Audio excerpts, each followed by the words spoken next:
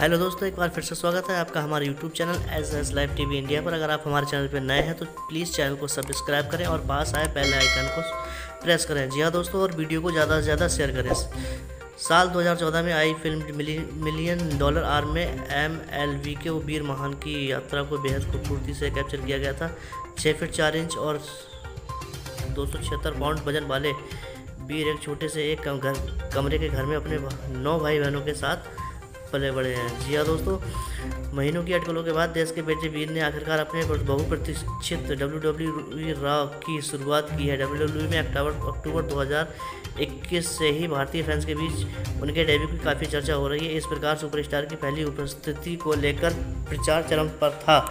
एक तरफा हार में वीर पिता पुत्र की जोड़ी यानी रे और डोमिनिक मिस्टूरियो पर हावी हो गए, जिससे स्पष्ट हो गया कि वे यहाँ रहने के लिए ही बने हैं। उनका डेब्यू सोशल मीडिया पर पहले ही तहलका मचा चुका है और सोनी स्पोर्ट्स के आधिकारिक फेसबुक पेज ने मंडे नाइट रॉ में वीर के 30 लाख से अधिक व्यूज़ दर्ज किए हैं। जी हाँ दोस्तों, अपने रिंग नाम, वीर के नाम से मशहूर रिंकू सिंह उत्तर प्रदेश के छोटे से कस्बे गोपीगंज से ताल्लुक़ रखते हैं। Major league baseball M team Pittsburgh Pirates द्वारा साइन किए जाने के बाद वीर के हाथ तब प्रसिद्ध लगी जब वे प्रोफेशनल बेसबॉल खेलने वाले पहले भारतीय बने। साल 2014 में आई फ़िल्म मिलियन डॉलर आर में एम एल वी की, उनकी यात्रा को बेहद खूबसूरती से कैप्चर किया गया है।